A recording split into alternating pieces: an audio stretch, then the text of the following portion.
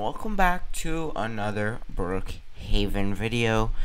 Today I will be sharing with you guys how you can rob the bank.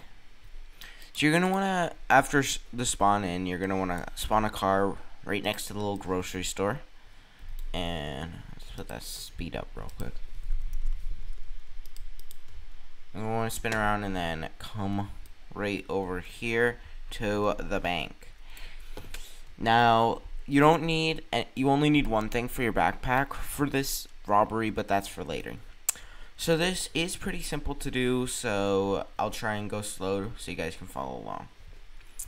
Right here's the key card. It has a little mouse icon right here. You're going to want to click on this. It will give it to you. There's no other way to get this in the game. That's the only way. Can't get it from backpack. So this will should open that door.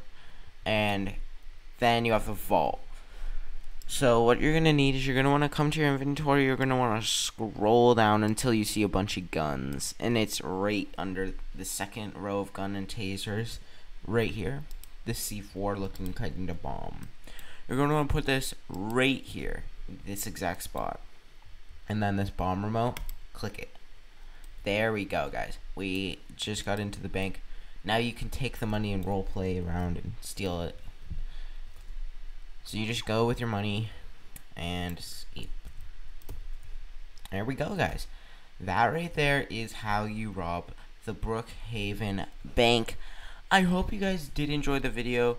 If you guys did, please be sure to leave a like and be sure to subscribe and turn on those notifications so you guys are notified when I upload another banger just like this one. But yeah, guys, that's going to be it for this video, and I will see you guys in the next one. Peace.